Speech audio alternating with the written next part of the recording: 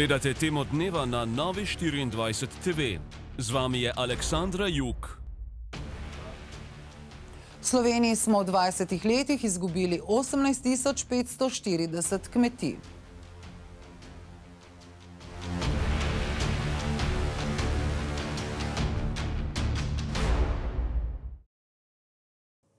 Dober večer. V Sloveniji se najbolj zmanjšuje število majhnih kmetij, še posebej na območju z omejenimi dejavniki.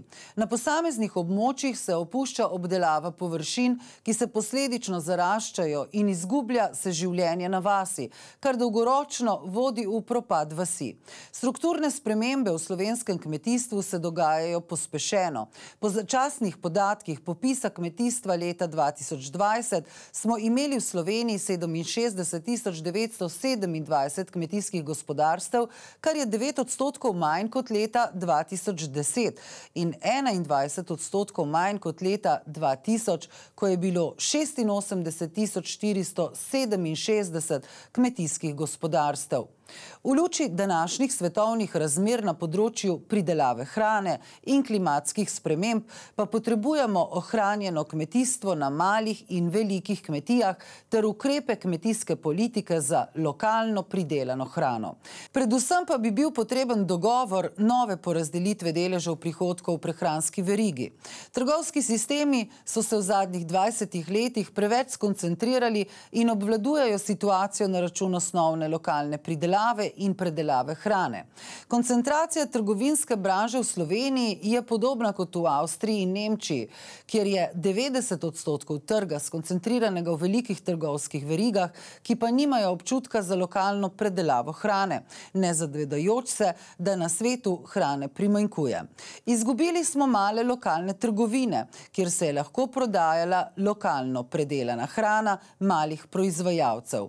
Alternativa bi lahko bila trgovinska trgovska mreža slovenskega zadružnega sistema, ki še živi in bi morala potrošniku ponuditi lokalno pridelano hrano organiziranih kmetij.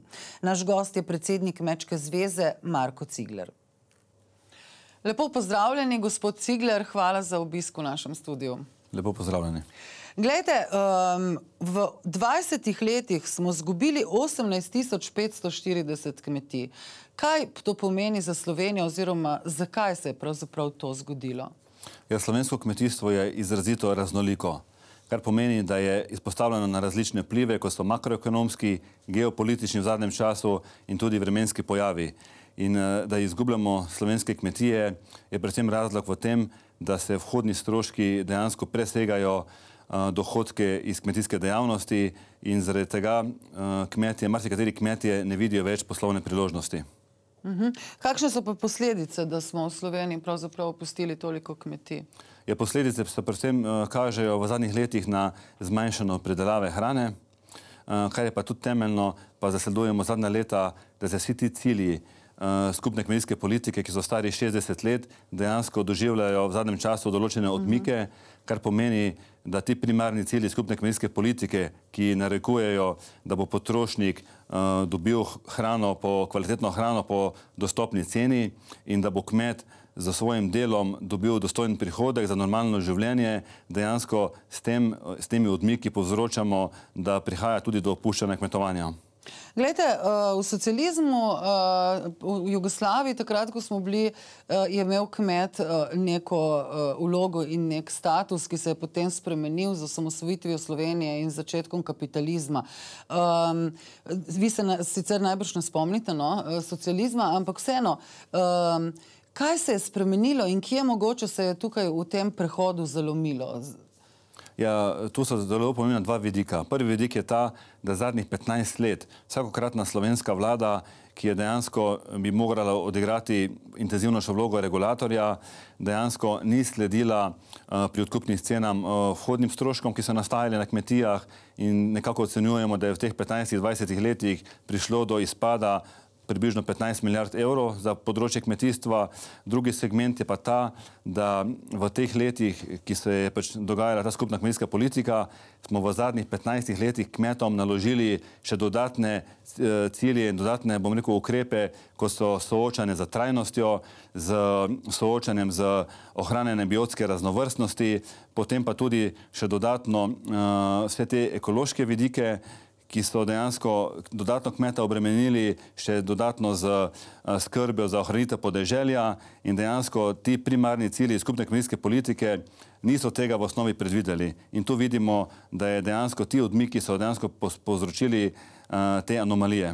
Torej, kmet enostavno ni mogel, ne more preživeti uh, za svoje dejavnosti, če prav razumem. Ja, statistični podatki kažejo, da predvsem male in srednje velike kmetije, gorsko-hribovske kmetije za svojo dejavnostjo redko pokrivajo uh, shodne stroške in tu je, to je zelo velik problem in predvsem razlog, da mladi nasledniki kmetij ne vidijo poslovne priložnosti. Kaj pričakujete od države v takem primeru? Menite, da bi morala država vseeno nekaj narediti, da obdrži uh, gorske kmetije, hkrati zdravo hrano, uh, ki jo dobivamo od tam? Ja, uh, kar se tiče države, aktualne vlade oziroma vseh predhodnih vlad, je sigurno, da bi morala vsakokratna vlada odigrati uh, vlogo regulatorja. Tu država lahko pliva na te regulacije, predvsem je pa zelo pomembno, da bi, da bi morala država odigrati ključno povezovalno vlogo med vsemi deležniki v vertikalni verigi. To je od kmeta, uh -huh. Uh, zadruge, živilsko predelovalne industrije, trgovske verige in to potrošnika. Sedaj se soočamo s tem, da sta najbolj ranljiva v tej uh, vertikalni verigi kmet kot primarni predelovalec in na koncu potrošnik, ki dobi zelo drago hrano na svojo mizo. Glede, zadruge še vedno obstajajo. Zakaj pa uh, vseeno Slovenci tako težko pridemo do domače hrane v trgovini? Recimo v Merkatorju, kamor nas hodi večina, vemo, da tega ne dobimo. Dobimo breskve iz uh, Španije, čeprav živimo uh, 100 metrov od breskovega nasada. Zakaj je temu tako? Ja, rejte, številne zadruge imajo zelo dobre poslovne modele. Jaz vidim tu ključno rešitev, da povezovanje zadrug z trgovskimi verigami.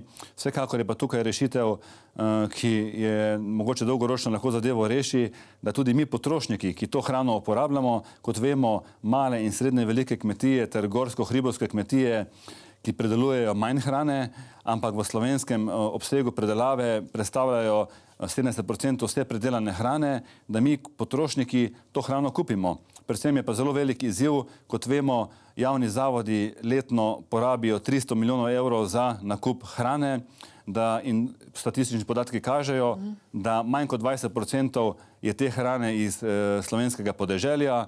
In tu so pa zdaj novi izzivi, kjer bi morali povečati eh, prodajo lokalno predelane hrane javnim zavodom in to je ena zelo velika rešitev za slovensko kmetijstvo. Ma gledajte, eh, zakaj pa eh, zavodi, vrci, eh, domovi pokojencev ne kupujejo slovenske hrane? Je predraga mogoče, zakaj ne?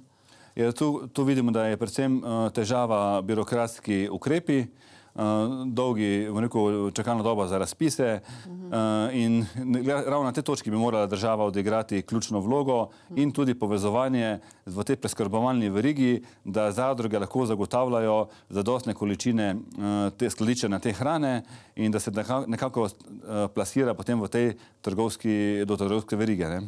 Um, lede, s podobnimi problemi se srečujejo tudi v drugih državah, verjetno z majhnimi kmetijami. Nimajo vsi uh, velikanskih kmetij, ki bi konkurirale za evropska sredstva v Evropi. Recimo Švedska je primer.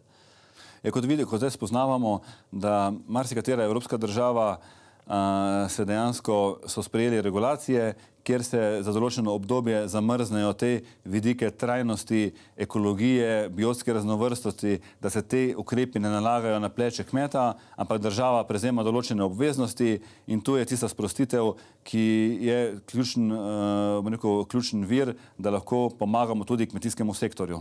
Ker zdaj je očitno država, hote, ne hote, ne hote, ovira te postopke. Ne?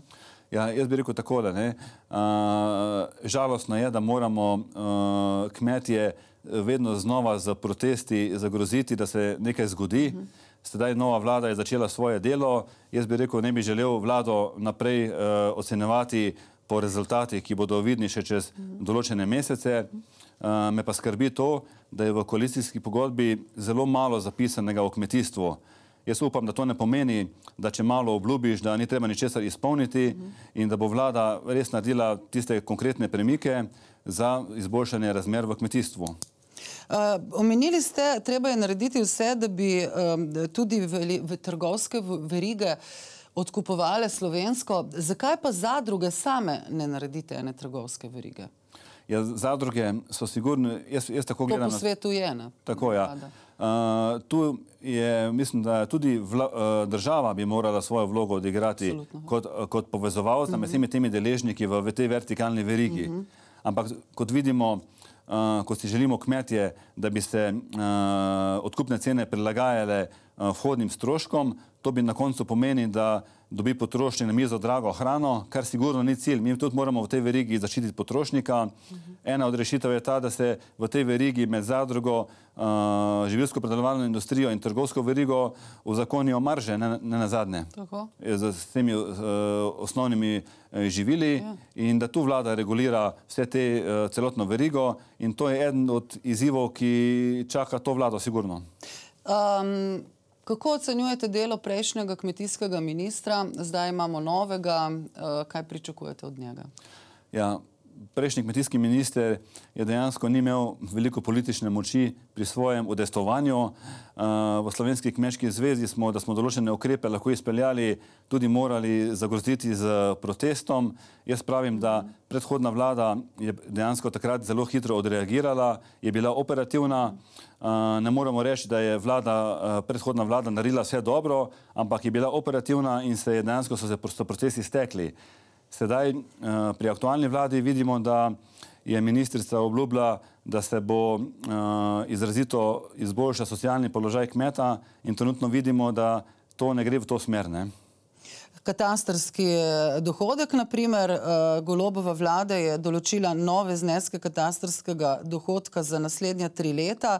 Um, Ste zadovoljni s temi določitvami? Ja, vsekako nismo zadovoljni. Niste. Hm. Prehodna vlada je regulirala katastarski dohodek, ministrstva je na zaslišanju napovedala, da bo poskrbela, da se izboljša socialni položaj kmeta. Sedaj vidimo, da gre to v nasprotno smer.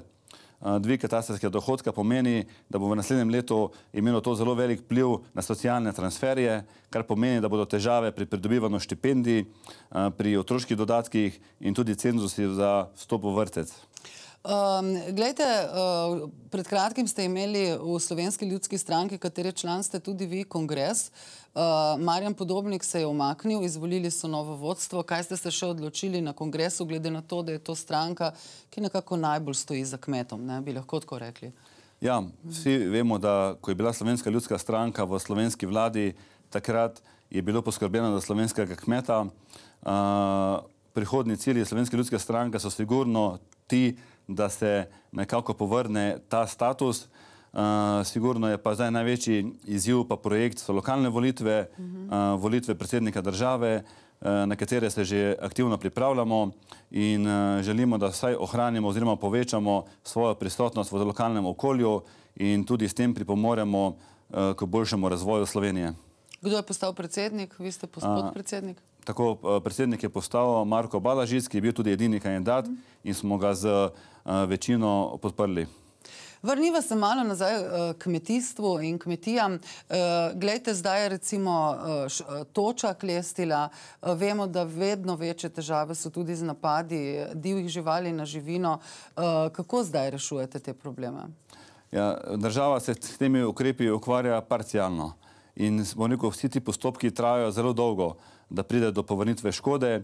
In predvsem pogrešamo to, da ni nekakšnega uh, univerzalnega vzorca, kjer bi lahko vse te škode, ki nastajale po različnih sektorjih, pokrivali. Okvarjamo se parcialno, poleg tega uh, aktualna vlada niti ne upošteva predlogov Kmetijsko-gozarske zbornice Slovenije in Zadružne zveze in je tu zelo težko sodelovati. Mhm. Se pravi, škodo boste dobili vrnjeno ali ne? Škode, ki nastajajo, so dejansko v nekih procesih ocenjevanja. Uh, kot vemo, je že iz januarja, iz meseca januarja je zelo veliko uh, utrpelo perutninare v Sloveniji, utrpelo škodo zaradi izpada, zaradi aviarne influence in to škodo je dejansko uh, vlada takrat uh, zavrnila, kot, ker ni zakonske osnove in to je bil že zelo velik pritisk na, na ta sektor predelave in upam, da ne bodo se podobni vzorci dogajali tudi v prihodnje na ostalih sektorjih.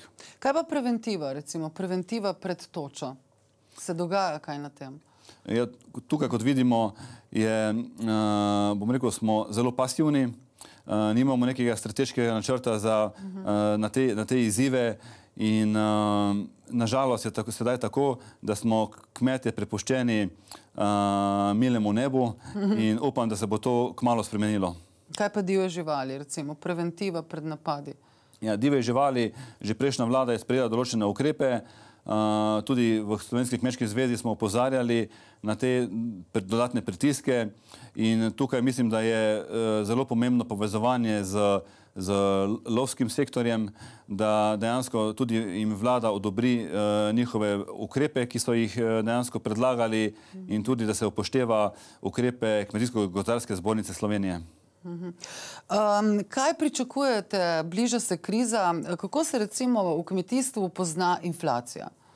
Ja, inflacija vpliva na, na kmetijstvo podobno kot uh, ostali vplivi, makroekonomski in geopolitični. Uh, to vpliva predvsem na vhodne surovine in na ceno hrane. In tukaj, ko sem, ko sem že omenil, je sigurno uh, ta vloga regulatorja odločilnega pomena.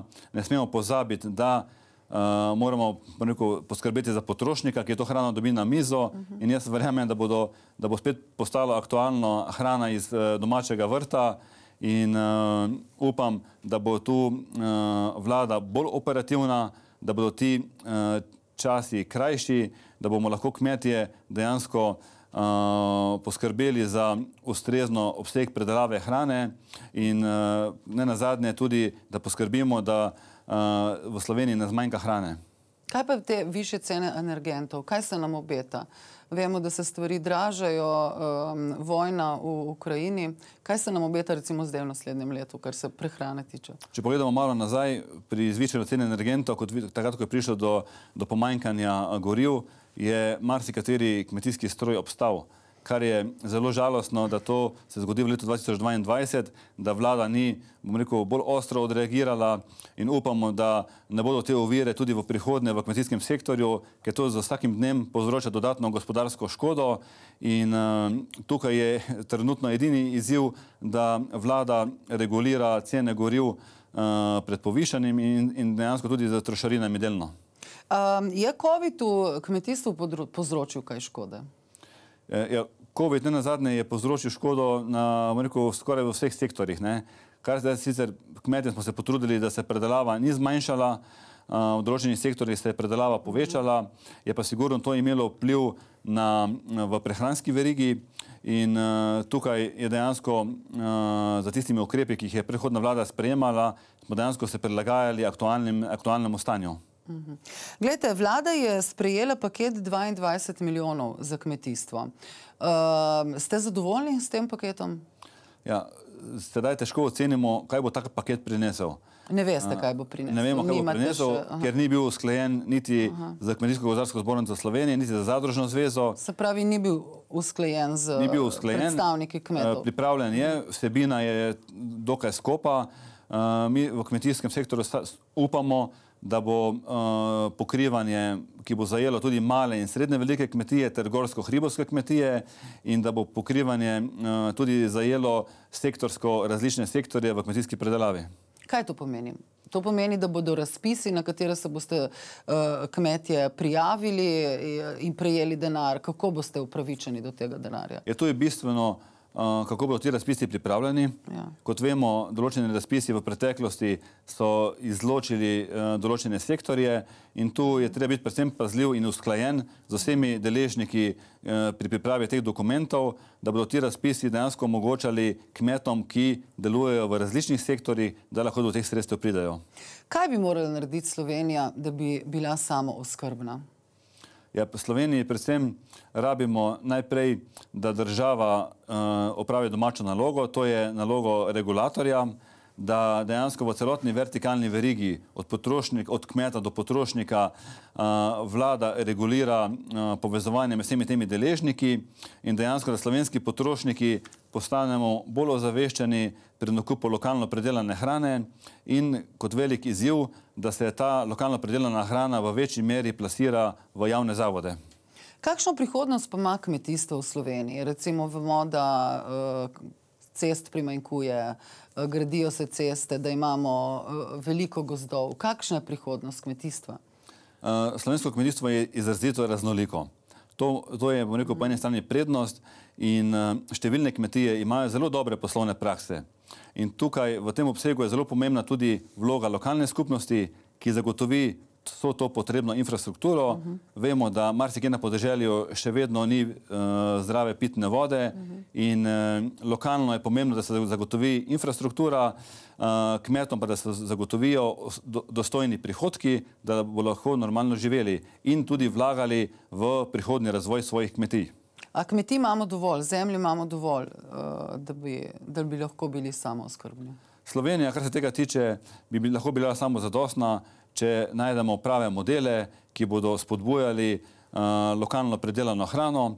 Predvsem je dodatni izziv tudi soočanje z zavrženo hrano. Kot vemo, se 20% hrane zavrže, kar pomeni v slovenski predelavi 150 tisoč ton letno.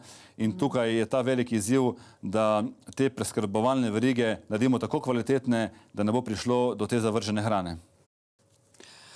Kaj pa dopolnilna dejavnost na kmetijah? Eh, mnogo kmetij eh, sistem pomaga. Eh, ali res to kmetijam pravzaprav nekako pomaga preživeti oziroma jim kmetom nekako zviša standard? Je to res?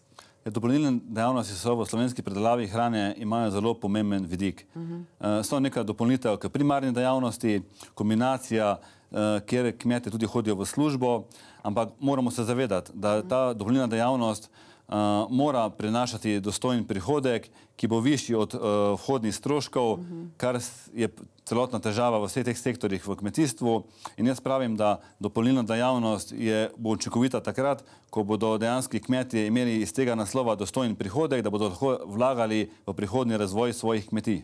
In kaj bi se moralo zgoditi, da bi uh, bil ta dohodek dostojen?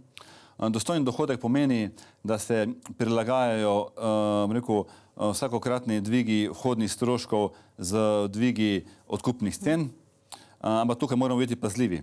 Na koncu, da ne bo na koncu dobil potrošnik račun za vse te rekel, dvige cen, uh -huh. eh, zato moramo že predhodno v celotni vertikalni verigi postaviti regulacije.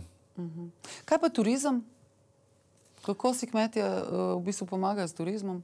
Uh, turizem v slovenskem podeželju uh, je uh, podcenjen. V kmetijstvu vidimo, da, tu, da je tu več poslovnih priložnosti, predvsem izletniškega turizma. Uh, kmetje imajo tu, uh, so zelo ustvarjalni, imajo zelo velike poslovne priložnosti, ampak v tem segmentu vidimo, da se uh, običajno takrat, ko se kmeti sami znajdejo, pride do mhm. nekega uspešnega rezultata in uh, za manj čakajo na pomoč države in njihove in določeni ukrepi so bili izpeljani, ampak ocenjujemo, da bi lahko to uh, turistično vizijo še dodatno nadgradili. Gospod Cigler, če bi zdaj lahko apelirali na vlado, kako naj ravna, kaj mora najprej narediti, kaj bi rekli? Ja, predvsem bi apeliral na vlado, da bo hitro odzivna, da bo operativna in da bo sodelovala z vsemi ključnimi deležniki eh, pri sprejemanju zakonskih podlag in eh, vizije slovenskega kmetijstva v prihodnih mesecih. To pa so ti deležniki? Ti deležniki so sigurno Zadružna zvezda Slovenije, eh, Kmetijsko-gozarska zbornica Slovenije, sindikat kmetov in seveda mi kot Slovenska kmečka zveza. Hvala lepa za ta odgovore na moje vprašanja in obisk v studiu. Hvala za povabilo.